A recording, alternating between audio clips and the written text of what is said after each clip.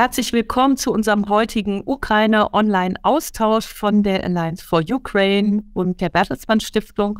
Heute zum Thema Religionsgemeinschaften äh, auf Anregung äh, meiner Kollegin vom Religionsmonitor.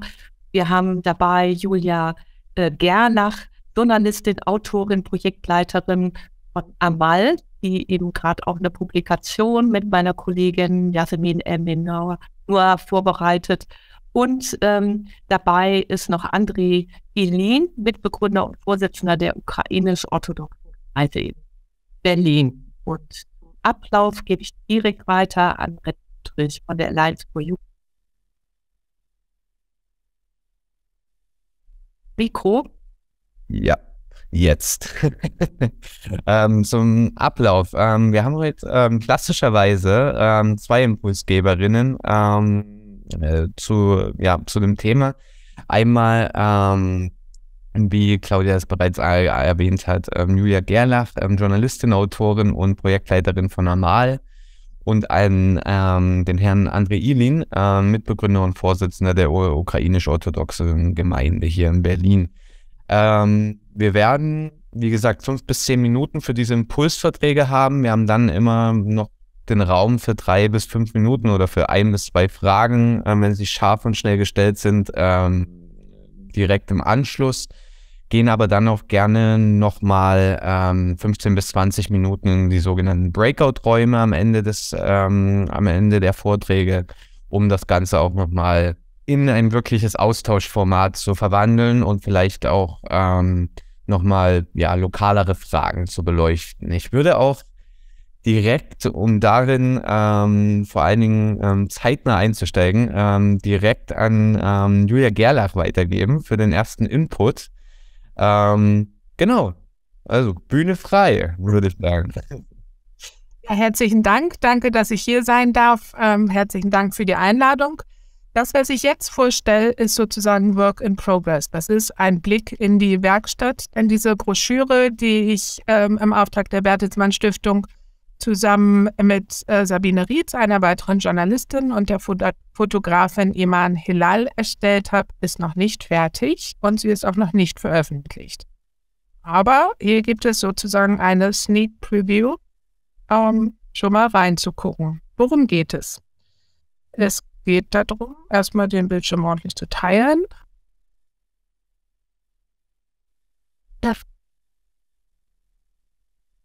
Sekunde, Entschuldigung.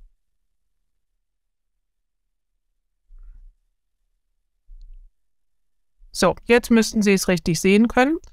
Es geht darum, äh, zu zeigen, was religiöse Gemeinschaften, Akteure, Gemeinden in Bezug auf Geflüchtete an Engagement zeigen. Hier im Bild sehen Sie, was sehr typisch ist. Es war das Jahr der Willkommenscafés 2022, wo in sehr, sehr vielen Gemeinden sowas entstanden ist, wie Sie hier im Bild sehen, Cafés, wo Leute zusammengekommen sind aus der Ukraine ähm, und nicht aus der Ukraine, alteingesessene, neu angekommene. Ähm, und das ist auch das Thema ähm, von dieser Umfrage. Wieso kann man jetzt nicht weiterklicken? Entschuldigung. Kleines technisches Problem. Okay. Also es geht darum, Religion als Ressource anzuschauen, das Engagement religiöser Gemeinden und Organisationen für Geflüchtete. Mich hat dabei natürlich interessiert, was gibt es für Motivationen, was gibt es für ähm, Organisationsformen und welche Rolle spielt die Religion dabei. Ähm, was habe ich konkret gemacht? Es wurden 15 Gemeinden, Organisationen und Einzelpersonen ausgesucht Davon grob gesagt drei katholische, drei protestantische, drei orthodoxe, drei muslimische und drei jüdische. Wir haben uns da ähm, konzentriert auf sozusagen die Buchreligionen und die, die es in Deutschland am meisten gibt. Ähm, ausgeblendet wurden humanistische Gruppen oder atheistische Gruppen. Das hätte man auch untersuchen können, aber wir wollten uns eben auf ähm, Religionen tatsächlich äh, konzentrieren. Ich habe mit sehr, sehr vielen Menschen gesprochen, um einen Überblick zu kriegen. Und ich bin keine Wissenschaftlerin, sondern Journalistin. Das heißt, ich habe mir dann aus diesen Recherchen rausgegriffen Beispiele, die ich interessant fand und die ähm, bestimmte Merkmale aufweisen. Und zwar alle bauen Brücken in verschiedene Richtungen. Und wichtig war mir da auch tatsächlich verschiedene Richtungen anzugucken. Manche der Projekte bauen Brücken zum Beispiel zu anderen Religionen. Andere bauen Brücken in die kommunale Verwaltung. Die nächsten bauen Brücken in sehr unerwartete ähm, Bereiche. Ähm, und das andere, was auch alle Projekte verbindet, ist, dass jeweils ein Nebeneffekt entsteht. Also es gibt Engagement für Geflüchtete, aber nebenbei entsteht noch etwas, was ähm, in den allermeisten Fällen sehr wertvoll ist für die Gesellschaft und wofür man nicht, äh, womit man so nicht gerechnet hat. Ich fange mal an, ein Beispiel vorzustellen, was Ihnen wahrscheinlich als erstes in den Kopf kommt, wenn Sie an dieses Thema denken. Eine protestantische Gemeinde in äh, Berlin, die angefangen hat, sich zu engagieren in den ersten Tagen mit den ersten Meldungen ähm, des Angriffskrieges ähm, der russischen Armee auf die ganze Ukraine. Sie haben sich zusammengetan, haben einen Bus geschickt, haben 80 Personen aus der Ukraine nach Zehlendorf in Berlin geholt, haben die in äh, Familien untergebracht, haben eine Struktur gebaut. Es wurde immer professioneller, es sind immer mehr Leute einbezogen worden. Und was der interessante Nebeneffekt an diesem Projekt ist, nicht nur, dass es ein Willkommenscafé ist, was es auch weiterhin gibt. Ähm, nein, das Interessante ist, dass über diese Arbeit sehr viele Leute, die eigentlich nur sehr lose noch mit der Kirche verbunden waren, angefangen haben, sich wieder zu engagieren und sich auch wieder für die Kirche interessiert haben. Das heißt, die Kirche hat in diesem Fall den Rahmen gestellt für Engagement. Sie hat ein etwas angeboten, was ihre ähm, die Umgebung sich gewünscht hat, nämlich eine sinnvolle Tätigkeit. Ähm, die konnten die Infrastruktur nutzen und dadurch wurde die Kirche so ein bisschen, ich sag mal, wiederbelebt. Wir wissen ja alle, die Kirchen, denen geht es im Moment gerade nicht so gut. Viele wollen austreten. Es geht einfach runter mit dem Engagement und der ähm, Mitgliedschaft. Und in dem Fall hat die Kirche davon sehr profitiert. Sie wurde wiederbelebt ähm, und mehr Leute interessieren hier ist ein Bild aus dem Garten, ähm, der vorher auch nicht so stark mehr benutzt wurde. Auch die äh, Gebäude der Kirche ähm, wurden wiederbelebt und sind neu genutzt worden. Hier sehen Sie ein ganz anderes Beispiel. Das ist eine äh, Gemeinde, die von vornherein sehr aktiv gewesen ist. Das ist die ähm, jüdische Kultusgemeinschaft Baden in Rottweil. Ähm, das ist eine sehr orthodoxe jüdische Gemeinde, die sich dadurch herauszeichnet, dass da schon immer, also die Umgangssprache war eigentlich immer Russisch bis zum Krieg. Ähm, und wo in erster Linie russische Juden und ukrainische Juden ähm, zusammen diese Gemeinde machen und die in den letzten Monaten sehr, sehr viele ähm, jüdische Geflüchtete und vor allen Dingen orthodoxe jüdische Geflüchtete ähm, aus der Ukraine aufgenommen haben. In sehr enger Zusammenarbeit mit den Kommunen. Ähm, und in Rottweil, anders als in Berlin und in anderen Orten, gibt es Leerstand. Das heißt, auch die Kommunen waren in der Lage, für die neu angekommenen ähm, Wohnraum zur Verfügung zu stellen. Und die Integration lief da über die Gemeinde. Zum Teil sind es Familien mit elf Kindern, die angekommen sind. Ähm, die Gemeinde ist extrem gewachsen. Und ich habe mit der ähm, Vorsitzenden Tatjana Malafi da gesprochen meinte, ja, und wie handelt ihr das, dass jetzt keine Konflikte entstehen zwischen den ähm, russischen ähm, Gemeindemitgliedern und den ukrainischen? Und da sagte sie, über Politik wird hier nicht gesprochen. Ähm, wer über Politik reden will, muss rausgehen, außerhalb der Synagoge. Hier haben wir wieder ein eher typisches äh, Beispiel, an das äh, viele Leute wahrscheinlich gleich am Anfang äh, denken. Friedensgebete gab es in sehr, sehr vielen Gemeinden. Da sind Leute zusammengekommen, um für Frieden zu beten, aus ähm, Betroffenheit und Angst, als sie die Bilder aus der Ukraine gesehen haben.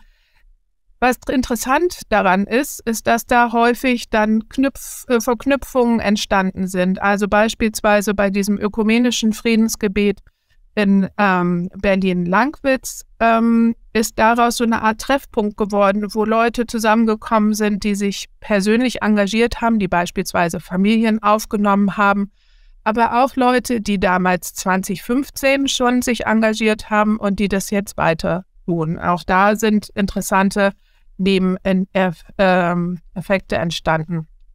Dann hervorzuheben sind natürlich auch kirchliche, vor allen Dingen äh, Hilfsorganisationen, die eine unglaublich große Infrastruktur haben, die auch zur Verfügung gestellt wurde und schnell aktiviert werden konnte. Beispielsweise dieses Projekt in Brandenburg, wo ein ganzes Kinderheim aus der Ukraine innerhalb von wenigen Tagen umgesiedelt wurde. Um, behinderte Waisenkinder mit ihren Betreuerinnen ähm, sind alle umgezogen und da hat die Caritas ähm, zusammengearbeitet über die verschiedenen Ländergrenzen hinweg. Ähm, auch das ist was Besonderes an Religionsgemeinschaften, also gerade an den Kirchen natürlich, dass es diese Infrastruktur gibt. Apropos Infrastruktur, da sind natürlich die muslimischen Gemeinden bisher eher schwach aufgestellt gewesen, muss man dazu sagen. Denn ähm, seit 2015, als viele muslimische Gemeinden sehr, sehr viele Geflüchtete aus, der, aus Syrien aufgenommen haben, ist da viel passiert. Ähm, es wurden auch so eine Art Wohlfahrtsverbände aufgebaut, Organisationen aufgebaut, äh, GmbHs sind das zum großen Teil, die ähm, in der Lage sind, Fördergelder anzunehmen, abzurechnen und eben auch solche Dienstleistungen anzubieten, wie sonst ähm, beispielsweise von Diakonie und Caritas, natürlich in einem ganz neuen und kleineren Rahmen. Interessant das Beispiel der Al-Nur-Moschee in ähm, Hamburg, die sich, die sagen, es ist gut für uns, wenn wir uns engagieren, helfen macht glücklich. Und es ist gut für unsere Jugendlichen, gerade die aus Syrien, wenn sie eine gute Aufgabe haben. Also haben sie sich auch ähm, engagiert um die Aufnahme von äh, Geflüchteten aus der Ukraine. Das ist nicht so leicht, denn natürlich gibt es da viel Diskussion darüber, über diese Ungleichbehandlung von Geflüchteten verschiedener Herkunft. Darüber hat auch Jabus Böge erzählt, dass es ein Jugendlicher, der sich ganz persönlich ähm, engagiert hat, der wochenlang mit seinem Auto ukrainische Geflüchtete durch Berlin gefahren hat ähm, und das aus religiöser Überzeugung getan hat, auch aus Neugier. Und dabei sind viele Verbindungen und interessante Begegnungen entstanden. Begegnungen entstanden sind natürlich auch über die Religionsgrenzen hinweg, zum Beispiel bei der jüdisch-muslimischen Kooperation in Kiel. Da setzen die ähm, beiden Gemeinden da an, dass viele Gemeinden im Moment große Probleme haben. Die Pandemie hat einfach Spuren hinterlassen. Viele Gläubige kommen nicht mehr, haben sich abgewandt, haben das Interesse verloren, haben sich abgewöhnt, in die Gemeinden zu gehen. Ähm, und gleichzeitig stehen viele vor ähnlichen Problemen. Das Thema, wie kriege ich meine Kinder von TikTok weg oder wie kann ich die davon abhalten, zu viel Social Media zu machen, ist was, was im Moment sehr viele beschäftigt. Und die Idee von dieser Kooperation ist, es gibt Themen, die alle betreffen, die nicht unbedingt religiös sind, aber was ein Bedürfnis ist und was Fragen und Ängste bei Menschen ähm, hervorruft und wo es gut ist, diese Themen anzugehen, um darüber äh, Menschen zu erreichen und dann auch wieder für die Gemeinden zu interessieren. Also hier sieht man bei vielen Diskussionen tatsächlich, dass die Gemeinden auch in der Krise sind. Nicht in der Krise ist die ukrainisch-orthodoxe Gemeinde in Berlin. Darüber wird uns André Ilin gleich äh, erzählen. Er gehört auch zu denen, die für diese Broschüre interviewt wurden. Aber er erzählt gleich selber, was seine Gemeinde macht, die natürlich im letzten Jahr unglaublich gewachsen ist und sehr viele neue Aufgaben übernommen hat und für viele eben ein Stück Heimat äh, bedeutet, für die, die als Geflüchtete hierher gekommen sind. Ähm, Frau Walter hat es eben schon ähm, erwähnt. Es ist ähm, diese Broschüre in Anlehnung, in Inspiration ähm, von dem äh, Religionsmonitor auch abgeleitet worden, wo ja eine der sehr vielen ähm, Beobachtungen, die da aufgestellt wurden, dass ähm, Religionen und Religionsgemeinschaften zwar in der Krise sind, aber trotzdem gerade in diesen Zeiten von Pandemie und Krieg viele Menschen sich dann doch an die Religion wenden, ähm, weil sie sich äh, Konfliktbewältigungspotenzial da erhoffen. Mit dieser Fragestellung und dieser Überlegung im Kopf bin ich natürlich auch in die Interviews reingegangen und habe dann aber herausgefunden, dass da noch ein anderer Effekt entstanden ist, dass nämlich die Krise, in der wir uns befinden, für viele Religionsgemeinschaften, die sich, wie gesagt, auch in einer Krise befinden, ähm, eine Chance für Erneuerung bietet, dass viele was anbieten, was Menschen, ich sag mal, glücklich macht, nämlich dass sie sich engagieren können, dass sie helfen können, dass das auch eine Art von ähm, Seelsorge ist oder ähm, Ausdruck von Glauben sein kann, ähm, was dazu führt, dass mehr Leute die Kirchen, die Gemeinden, egal welcher ähm, Religion, ähm, sich da wieder zugehörig fühlen und wieder mitmachen wollen. Das heißt, es ist im Prinzip eine Win-Win-Win-Situation. Die Menschen können Trost finden, indem sie sich engagieren. Die Religionsgemeinschaften werden mit neuem Leben erfüllt und gesellschaftliche Probleme werden angegangen und in vielen Fällen ja auch in der Fläche des Landes ganz gut gelöst. Soweit. Vielen Dank. Vielen Dank, Frau Gerlach. Claudia, machen wir weiter. Genau, das ist ja schon erwähnt worden, die ukrainisch-orthodoxe Kirche in Berlin. Und wir haben heute äh, als Referenten hier Andrei Ilin. Er ist nicht nur Vorsitzender, sondern auch Mitbegründer äh, der russisch, der ukrainisch-orthodoxen Kirche in Berlin. Und als wir uns das erste Mal gesprochen haben, war er gerade zwischen ähm, Einsätzen auch zur Erdbebenhilfe, also nicht nur Ukraine, sondern wirklich ähm, überall ist die Gemeinde und äh, ist André Ilin äh, engagiert. Von daher freuen wir uns, dass das klappt, dass Sie hier einen kurzen Einblick geben können. Ja, Elin. Guten Tag, äh, vielen Dank für die Einladung. Danke, dass ich im heutigen Austausch teilnehmen darf. Ähm, ich wollte sofort zu, zu der russischen orthodoxen Kirche in Deutschland äh, kommen, wo, wo, das noch gerade ähm, erwähnt wurde.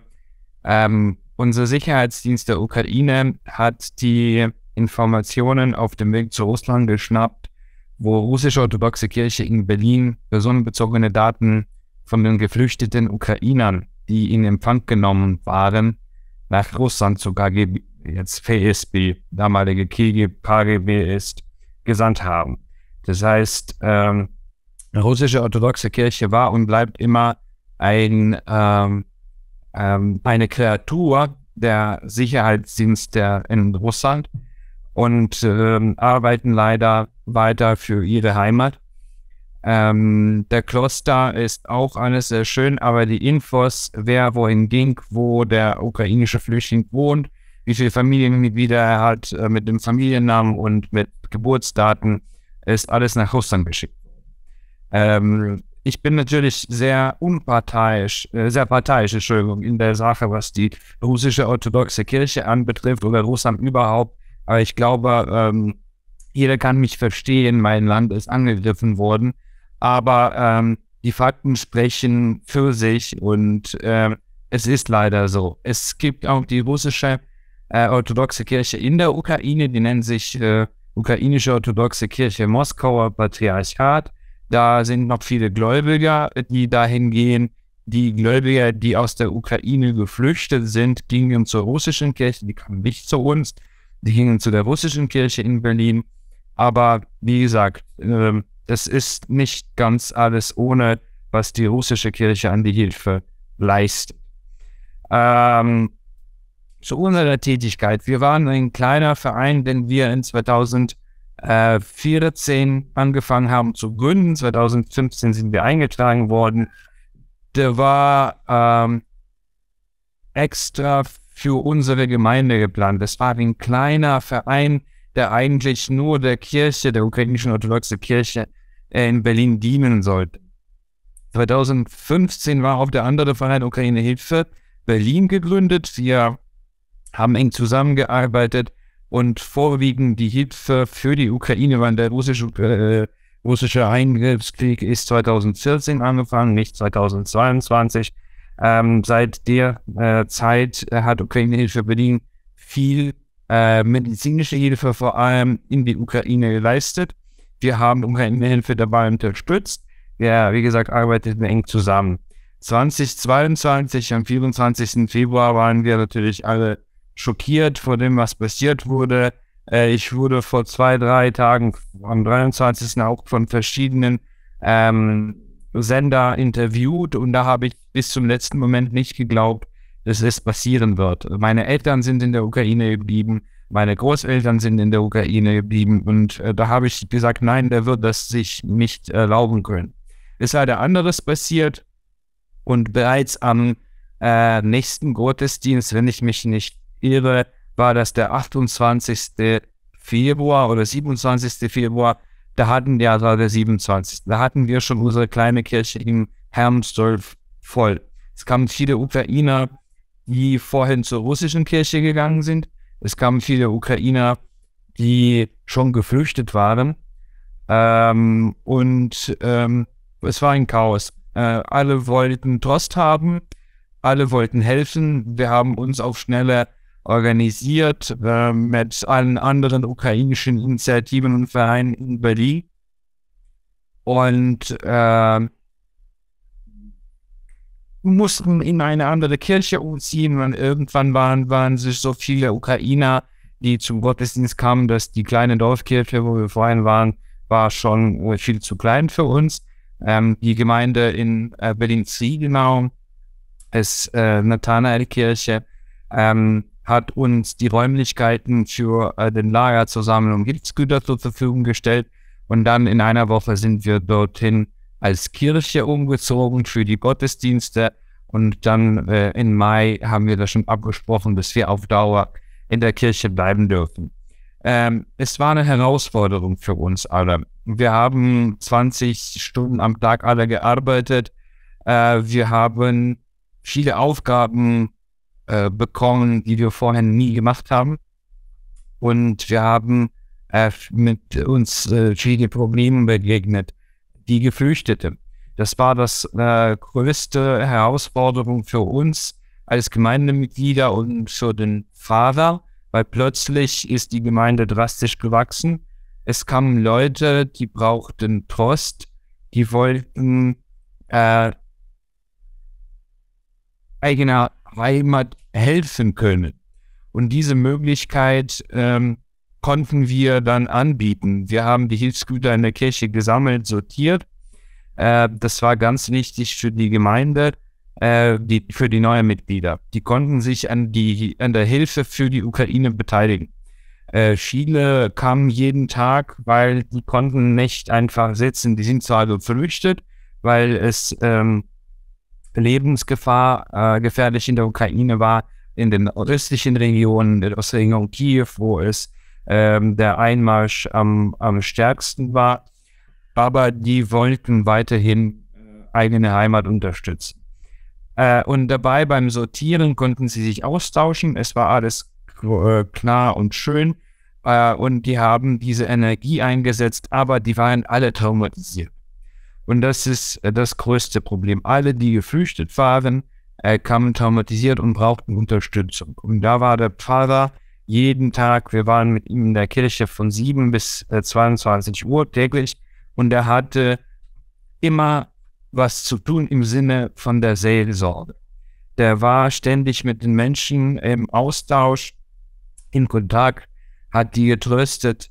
Leider war es, es auch viele äh, Trauerangelegenheiten, wo wir über die Verstorbene oder Getötete beten mussten, weil ähm, es waren, wir wissen, äh, vorwiegend Frauen, deren Männer in der Ukraine geblieben sind und äh, um eigene Heimat zu verteidigen. Und die kamen ums Leben äh, im Krieg. Und ähm, da sah man mindestens drei, vier weinende Frauen am Tag, die kamen, um, um, um die Sorgen äh, loszuwerden, um, eigener Trauer mit jemand anderen zu teilen. Es war wirklich eine ganz, ganz ähm, schwierige Zeit für uns. Wir waren klein, wir hatten nicht äh, genug Kräfte, um mit den Menschen zu arbeiten. Man muss da auch eine äh, psychologische, psychologische Hintergrund zumindest haben, nicht die Ausbildung, dass man solche Fälle behandeln kann. Aber dann kam zu Hilfe die deutsche Gesellschaft. Das war natürlich enorm, was die äh, Bewohner Deutschlands für die Ukraine geschafft haben. Ähm, alle haben schon gehört, wahrscheinlich die Zahlen, das ist ein Präzedenzfall, wie viel für die Ukraine gespendet wurde in 2022. Aber die Präsenzhilfe war auch enorm. Wir hatten in der Kirche circa 300 freiwillige Geflüchtete aus der Ukraine, die täglich kamen, weil es so viel zu sortieren und zu verpacken war. Und wir hatten ungefähr 60 bis 80 deutschsprachigen Freiwilligen, die uns unterstützt haben. Aus denen waren auch ukrainisch-russischsprachige, die ähm, diesen psychologischen Hintergrund hatten und mit den äh, traumatisierten Menschen arbeiten konnten. Das hat mich enorm ähm, gewundert, wie dolle sie sich eingesetzt haben für die, für die Ukrainer und äh, was für einen Riesenaufwand die übernommen haben. Weil das für mich war es unmöglich. Ich hatte zu viel zu organisieren. Ich habe mich in dem Zimmer versteckt und hang äh, am Telefon und äh, die haben sich selbst organisiert. Das, das war, das war wirklich, äh, das war nichts zu beschreiben. Und viele sind auch geblieben, viele kommen auch äh, heute noch in der Kirche. Es gibt natürlich nicht so äh, viel äh, zu tun mehr. Es äh, wird nicht so viel an Hilfsgüter äh, gebracht, aber es gibt trotzdem äh, Medizin, die uns gespendet wird und auch die Sachspenden und die Deutschsprache kommen auch weiterhin. An, als die erste Phase überwinden wurde, es war so Ende Mai, Mitte, Ende Mai ungefähr, wo, wo dieser Schock ähm, dann äh, teilweise vorbei war, kamen die anderen Probleme. Das war die deutsche Bürokratie. Das ist, ähm, kenne ich sehr gut, weil ich vom Beruf selber Anwalt bin. Äh, und da haben die Geflüchtete sich damit äh, be be beschäftigen müssen. Und die Anträge zu stellen, diese auszuführen, wo du die deutsche Sprache nicht kannst, und wo du in jedem Amt einen Russen hast, der für dich übersetzt, weil ähm, die, äh, die Kommunen glauben, ach ja, die sprechen Ukrainisch, ist doch russischer Sprache gleich und setzen da ähm, die russischsprachigen Übersetzer. Ich habe selber erlebt, weil ich ein paar Fälle doch zum Sozialamt begleiten mussten, wo die Übersetzungen nicht so sauber liefen, weil ähm, das waren eben Russen, und ähm, die wollten nicht so dolle diesen Ukrainern, die hier jetzt um Sozialhilfe baten, unterstützen. Ist leider so. Ähm, und wir haben angefangen, eine Gruppe zu bilden mit den Übersetzern, die diese Hilfe äh, für die Geflüchtete geleistet hat, mit Formularen ausfüllen, mit Schreiben beantworten. Es war wirklich ein Haufen Arbeit, weil äh, als die Leute gehört haben, weil die haben vorwiegend unseren Freiwilligen geholfen, die bei uns in der Kirche gearbeitet haben. Das hat sich rumgesprochen und jeden Tag nach dem Gottesdienst standen Menschen mit der Bitte, auch wir haben hier das Formular, das muss noch ausgefüllt werden, auch könnten Sie mir übersetzen. Ähm, wir waren wieder überfordert, da kamen uns wieder die, äh, die Deutschen, so sage ich, äh, oder die Bevölkerung, ja, die, die, die Bewohner Berlins, sage ich so, kamen uns zur Hilfe, äh, haben viel unterstützt, die Polen, äh, vor allem die polnischsprachigen, ähm, weil ähm, die ukrainische und polnische Sprache äh, ähnlich ist. Und wenn man Polnisch langsam spricht, kann man ähm, Ukrainer können Polnisch verstehen. Und das war auch eine, also eine, eine Möglichkeit, dieses Problem zu lösen mit viel Personal. Äh, die Arbeit mit den Geflüchteten dauert weiter. Wir haben äh, am Sonntag zwischen 180 und 200 äh, Gottesdienstbesucher. Die kommen weiter mit eigenen, mm, mit eigenen Problemen, die wir auch dementsprechend äh, behandeln müssen. Aber was wir auch sehr viel gemacht haben, was die Geflüchteten nicht anbetrifft, Wir haben enorm viele Hilfsgüter in die Ukraine geschickt. Äh, wir haben zusammen mit dem Verein Ukraine Hilfe uns ähm, geschlossen und ähm, haben diese Sammelstelle in, äh, in der Nathanaelkirche und betreiben die auch weiter bis heute. Ähm, ich sage nur kleine Zahlen. Wir haben äh, bis heute Stand, gestern war es äh, wieder fünf Fahrzeuge, die in die Ukraine gegangen sind, haben wir bereits über 1100 Tonnen Hilfsgüter in die Ukraine versandt. Wir haben nie Kleidungsstücke gesammelt. Wir haben äh, jetzt die Aktion mit Alliance for Ukraine ähm, und Allianz ukrainische Organisationen und Berliner Senat ähm, Wärmebrücke Ukraine gestartet. Da haben wir alle mit äh, Sackspenden, äh, mit Kleidungsspenden hingeschickt. Alles, was wir geschickt haben, ist Hygieneartikel, Lebensmittel, Medizin, äh, Generatoren äh, und äh, Batterien, alles mögliche technische, technische Ausrüstung, die auch für Zivilbevölkerung nötig ist, auch Filter, äh, Wasserfilteranlagen und, und, und. Ähm, ich, ja, soweit zu, zu der Tätigkeit ist, ich könnte den Tag lang erzählen, aber ich hoffe, ich habe so einen Impuls gegeben, was wir alles geschafft haben in dem letzten Jahr. Dankeschön. Ganz herzlichen Dank, Herr Ilin. Also ich glaube, man kann ahnen, wie, ähm, äh, wie schwierig das ist und was da enormes geleistet wurde. 1100 Tonnen und ähm, also die verschiedenen Bereiche, die Sie aufgezählt haben. Ähm, also 20 äh, Stunden am Tag, am Anfang zumindest, äh, das äh, ist sehr bewundernswert und ähm, äh, genau, mein Respekt darf, dazu und ich ahne von dem Vortrag von Julia Gerlach, dass das in ganz vielen Stellen der Republik auch ähnlich ist. Also äh, toll, dass Sie das machen. Wir sind jetzt leider schon am Schluss angelangt. Ich glaube, man könnte noch viel, wir könnten noch alle viel länger diskutieren. Ähm, was ich, Jasmin, hast, hast du noch einen Hinweis, Veranstaltungshinweis oder? Ja, dann würde ich jetzt meine Frage zurückziehen. Ähm, das stimmt natürlich, da kann man noch wirklich weiter drüber sprechen, aber vielleicht ein Veranstaltungshinweis, genau.